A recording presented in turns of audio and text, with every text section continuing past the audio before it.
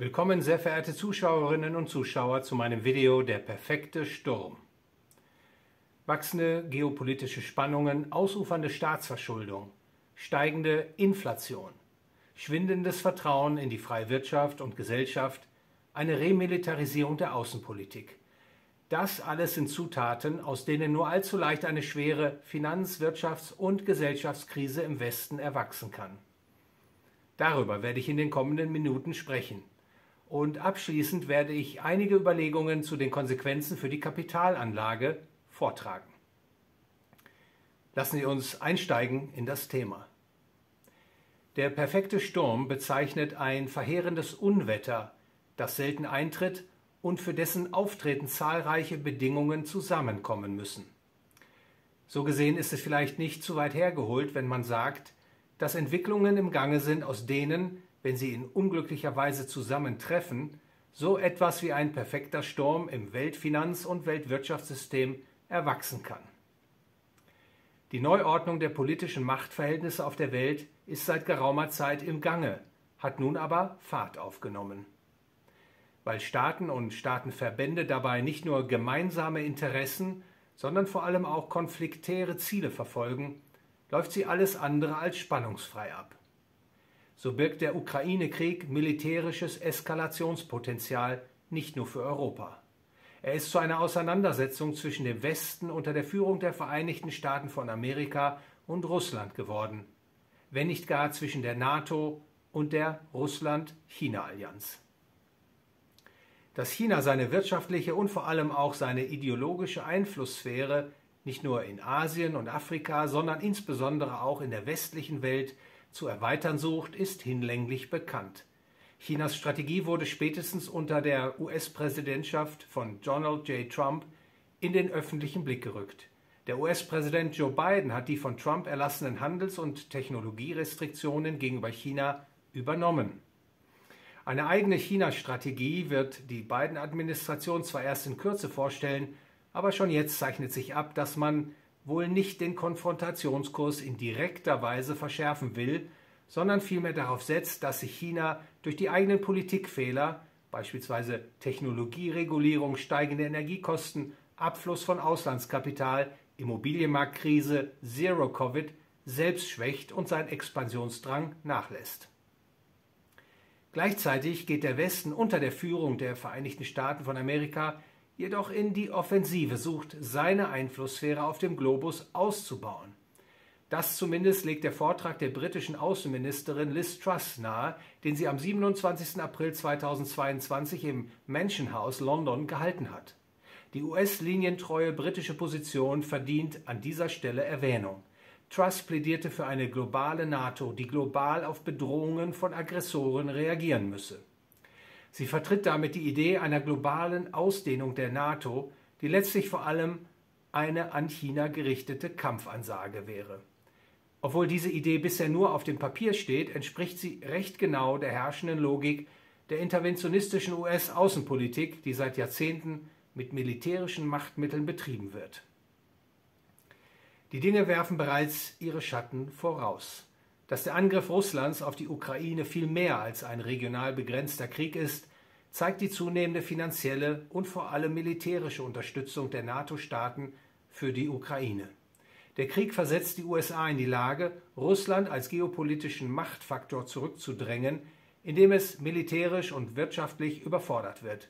Und nicht zuletzt, indem das politische Ansehen der russischen Regierung im In- und Ausland verschlechtert, die Kooperation mit Russland quasi unmöglich gemacht wird. Mit den zunehmenden geopolitischen und geomilitärischen Konfrontationspotenzialen verstärkt sich nun ein Trend in der westlichen Welt, der seit Jahr und Tag zu beobachten ist. Die staatlichen Eingriffe in Wirtschaft und Gesellschaft nehmen immer weiter zu. Das geht unweigerlich zu Lasten des freien Wirtschaftens oder dem wenigen, das davon noch übrig ist, und Wachstum und Beschäftigung werden geschwächt. Beispielsweise stehen bei internationalen Investitionsentscheidungen der Firmen nicht mehr vorwiegend relative Stand, Standkostenvorteile im Vordergrund, sondern politische Risikofaktoren spielen eine verstärkte Rolle. Beispielsweise Risiken, die aus einer möglichen Sanktionierung eines Landes erwachsen oder Risiken, die aus einem militärischen Konflikt resultieren könnten. Das wiederum verschlechtert die, Effizient, die Effizienz der internationalen Arbeitsteilung und des Güterhandels. Das ist höchst problematisch. Schließlich ist gerade die internationale Arbeitsteilung die Quelle für den weltweiten Wohlstand.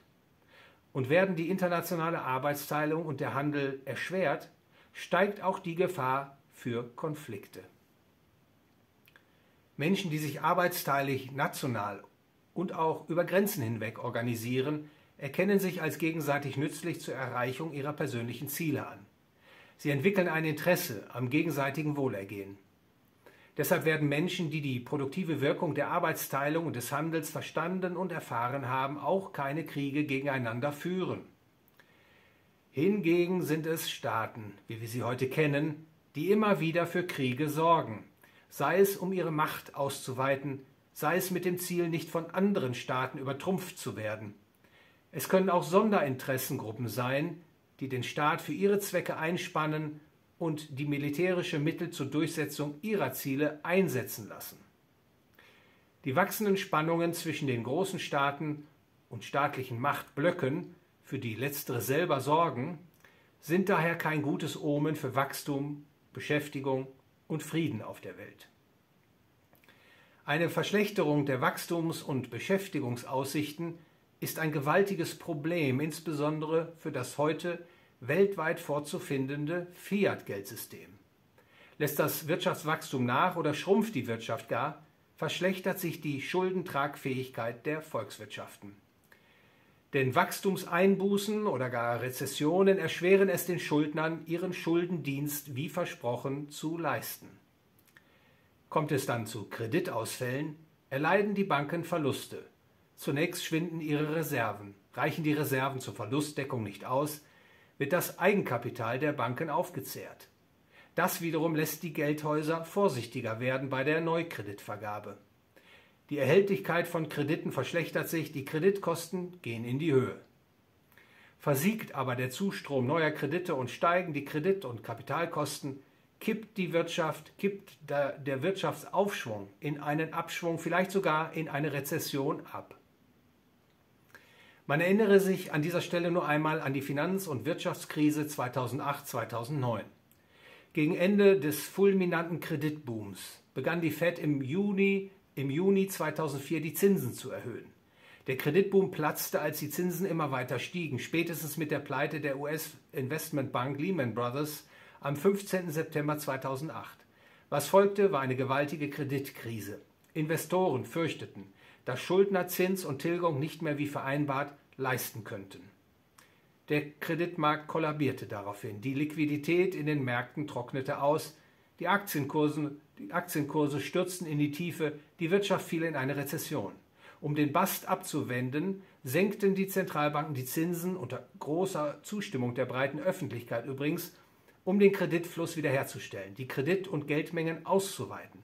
Aus dem Bast sollte ein neuer Boom werden.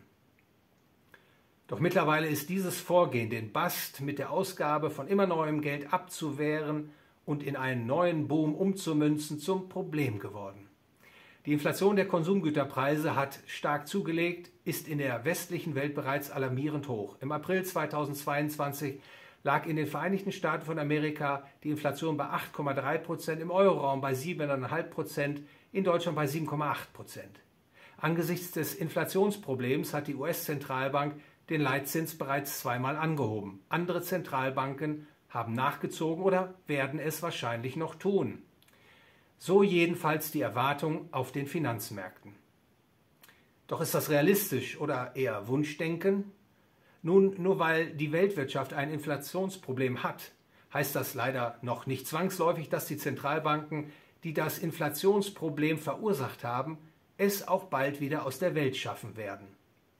Schauen wir uns daher das Inflationsproblem näher an. Die Folgen der politisch diktierten Lockdown-Krise ab 2020 haben die Knappheit in den internationalen Gütermärkten verstärkt und die Preise für viele Güter verteuert. Hinzu kommt die grüne Politik, die die Preise für Energie drastisch in die Höhe getrieben hat. Zudem heben auch die Folgen des Ukraine-Krieges die Güterpreise an. Insgesamt führt das zu einem negativen Preisschock Dass daraus aber Inflation erwächst, also ein dauerhaftes Ansteigen aller Güterpreise auf breiter Front, liegt an der enormen Geldmengenvermehrung durch die Zentralbanken. So hat die US-Zentralbank die Dollargeldmenge M2 seit Ende 2019 bis heute um 43 Prozent erhöht, die Europäische Zentralbank die Geldmenge M3 um 21 Prozent. Ein gewaltiger Geldmengenüberhang treibt nun, trifft nun auf den negativen Preisschock und setzt einen Inflationsprozess in Gang. Der Inflationsdruck, der noch in der Pipeline steckt, ist zinspolitisch kaum mehr zu entschärfen. Die Aussichten, dass die Inflation in den kommenden Jahren auf die bisher gewohnte 2%-Marke zurückkehren wird, sind denkbar gering. Bestenfalls ist zu hoffen, dass die Zentralbanken die Zinsen stark anheben, dass das Kredit- und Geldmengenwachstum abnimmt und dass auf diese Weise die Inflation in der ferneren Zukunft verringert wird. Doch werden die Zentralbankräte sich von ihrer Inflationspolitik abkehren? Wie bereits angeklungen ist, Inflation ist keine Naturkatastrophe, sie ist vielmehr menschengemacht. Ohne das Ausweiten der Geldmenge durch die Zentralbank ist sie gar nicht denkbar. Inflation ist dabei entweder das unbeabsichtigte Ergebnis von geldpolitischen Fehlern oder das beabsichtigte Resultat von regierungspolitischen Machenschaften. Letzteren kommt aktuell eine besonders überzeugende Erklärungskraft zu. Es ist kein Geheimnis, dass Inflation den überschuldeten Staaten in die Hände spielt. Inflation entwertet die reale Schuldenlast des Staates, wehrt seinen Bankrott ab. Und die staatseigene Zentralbank wird vor die Wahl gestellt, den Staat zahlungsunfähig werden zu lassen oder die Inflation in die Höhe zu treiben, sich absehbar gegen Ersteres und für Zweiteres entscheiden. Daher sollte man sich als Anleger nicht an die Unschuldsvermutung klammern und auf ihrer Grundlage die künftige Geldpolitik und Inflationsentwicklung abschätzen. Schon jetzt deutet die zu zögerliche Zinswende, die die großen Zentralbanken in Aussicht stellen, an, wohin die Reise geht. Dass gegen die Inflation nicht entschieden genug vorgegangen wird, dass die eigentlich notwendigen Zinshöhen ausbleiben, sodass die Inflation in den kommenden Jahren viel höher ausfallen wird, als es den Bürgern und Unternehmern lieb sein kann. Es ist zu befürchten, dass die Inflation von den Zentralbanken erzeugt wurde, um zu bleiben. Die wachsenden Probleme im Fiat-Geldsystem haben Rückkopplungseffekte auf die Wirtschafts- und auch die Außenpolitik der Staaten. Hat eine Volkswirtschaft bereits lange mit Fiat-Geld operiert, wird der Anreiz groß, bei Finanz- und Wirtschaftskrisen große Opfer zu leisten, um das System über Wasser zu halten, es vor dem Zusammenbruch zu bewahren.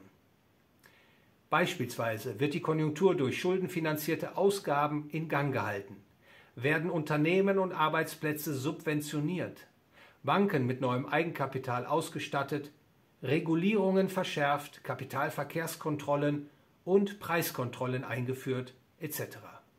Die Wirtschafts- und Finanzpolitik richtet sich auf den Erhalt des Fiat-Geldsystems aus, andere Ziele wie der Erhalt der bürgerlichen und unternehmerischen Freiheiten werden vernachlässigt bzw aufgegeben. Die Volkswirtschaft verformt sich in eine Befehls- und Lenkungswirtschaft. Eine Befehls- und Lenkungswirtschaft verursacht aber Probleme.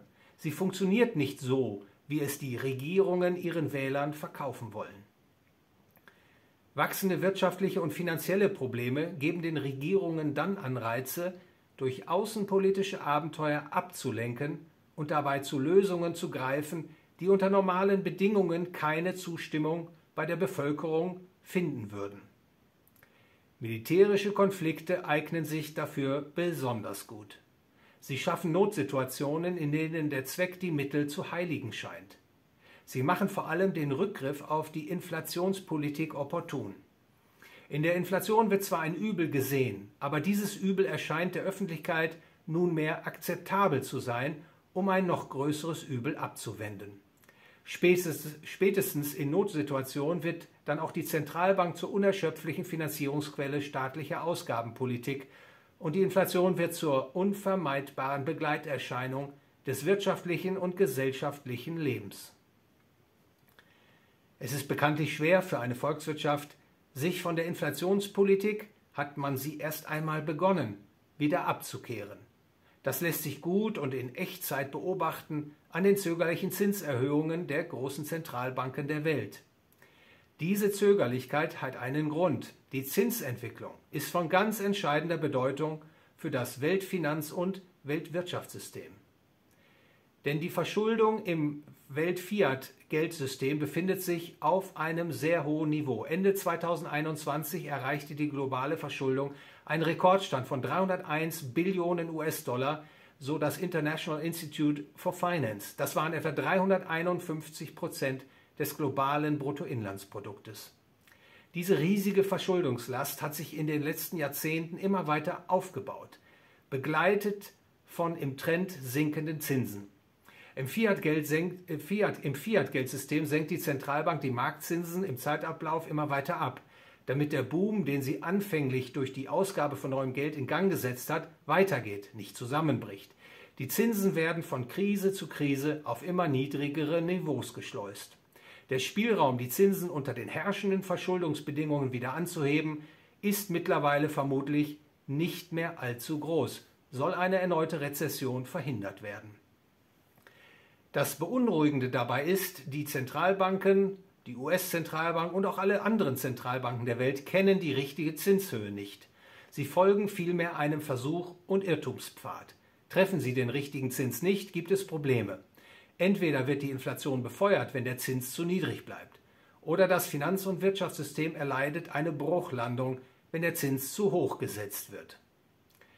Aus meiner Sicht steigt die Wahrscheinlichkeit einer Bruchlandung, wenn die US-Zentralbank ihren Leitzins über das Niveau von zweieinhalb bis drei Prozent hinaus anzieht. Wie weit sie letztlich geht, um die Kreditkosten in die Höhe zu setzen, hängt von den Wachstums- und Beschäftigungseinbußen von Kursverlusten in den Aktien- und Häusermärkten ab, die durch die Zinsanhebung entstehen. Das führt zur Kernfrage. Wie groß ist der Schmerz, den die Volkswirtschaften aushalten können und wollen? Wie stark kann und darf die Rezession in einem Fiat-Geldsystem ausfallen, um die Inflation zu senken? Die, Leidens die Leidensfähigkeit der westlichen Wohlfahrtsstaaten ist eher gering zu veranschlagen und die Akzeptanz für die weitreichenden strukturellen Veränderungen, die eine große Rezession, ein Bast unweigerlich herbeiführen würde, dürfte nicht sonderlich groß sein.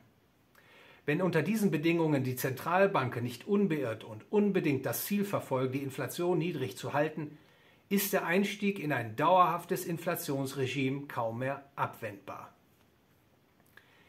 Die Zentralbankräte stehen längst unter der fiskalischen Dominanz.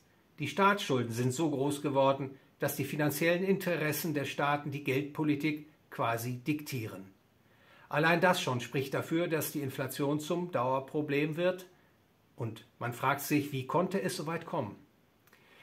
Die Antwort lautet Interventionismus. Er steht für die Idee, der Staat dürfe und solle quasi nach Belieben in das Wirtschafts- und Gesellschaftsleben eingreifen, um politisch gewünschte Ziele zu erreichen und durchzusetzen. Der Interventionismus ist im Grunde überall in der Welt, in der westlichen Welt zum Politikideal aufgestiegen. Er sorgt dafür, dass sich der Staat immer weiter ausbreitet in Wirtschaft und Gesellschaft und die Privatwirtschaft immer weiter zurückgedrängt wird. Interventionistische Staaten setzen vor allem auch auf Verschuldung und die Ausgabe von inflationärem Geld, um ihre Agenda zu finanzieren. Die Idee des Interventionismus liegt letztlich auch weltumspannenden Vorhaben wie dem Great Reset, der großen Transformation zugrunde, denen zufolge die Geschicke der Menschen auf dem Planeten nicht dem System der freien Märkte überlassen werden dürfen, sondern dass sie vielmehr von zentraler, von staatlicher Stelle zu planen und zu steuern sind. Eine mehr als beunruhigende Entwicklung. Weiß man doch aus ökonomischen Überlegungen, dass interventionistische Vorhaben scheitern, dass sie ihre Ziele nicht erreichen können oder wenn sie sie dennoch erreichen sollten, dass dabei unerwünschte, mitunter auch desaströse Nebenwirkungen für die Volkswirtschaft entstehen. Was also nicht zu übersehen ist, sind wachsende geopolitische Spannungen, ausufernde Staatsverschuldung, steigende Fiat-Geldinflation, schwindendes Vertrauen in die freie Wirtschaft und Gesellschaft eine Remilitarisierung der Außenpolitik. Das alles sind Zutaten, aus denen nur allzu leicht eine schwere Finanz-, Wirtschafts- und Gesellschaftskrise im Westen, eine Art perfekter Sturm, erwachsen kann. Was kann man als Anleger tun? Zwar ist es schwierig, für alle Anleger eine passende Empfehlung auszusprechen, aber vier grundlegende Überlegungen lassen sich dennoch an dieser Stelle vorbringen. Erstens. Diversifizieren Sie. Es gibt nicht nur ein, sondern eine ganze Reihe von denkbaren Zukunftsszenarien. Setzen Sie daher nicht nur auf ein bestimmtes Szenario, sondern stellen Sie Ihr Portfolio so zusammen, dass es auch in unterschiedlichen Szenarien überleben kann. Zweitens. Richten Sie sich auf dauerhaft hohe Inflation ein.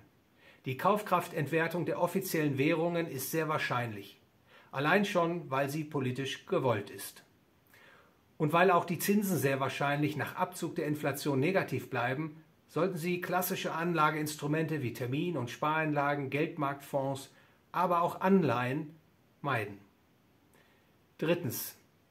Investieren Sie in Produktivkapital. Im einfachsten Fall in ein breit diversifiziertes Weltaktienmarkt-ETF und halten Sie es mit Langfristorientierung, das heißt mit einer Haltedauer von mindestens drei, fünf oder mehr Jahren. Ein weltweit diversifiziertes Aktienportfolio eröffnet zumindest die Möglichkeit, den Inflationsverlusten entgehen zu können. Viertens halten Sie einen Teil Ihres Portfolios in physischem Gold und Silber in Form von Münzen und Barren. Vor allem das Gold sollten Sie als Versicherung für das Portfolio ansehen.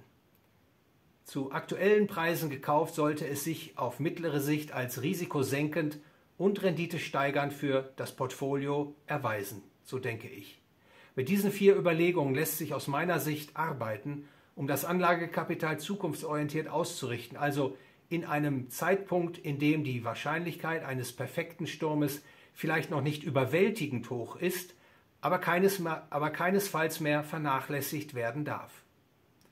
Vielen Dank für Ihre Aufmerksamkeit. Wenn Ihnen das Video gefallen hat, bitte liken, teilen Sie es, folgen Sie meinem Kanal und läuten Sie die Glocke.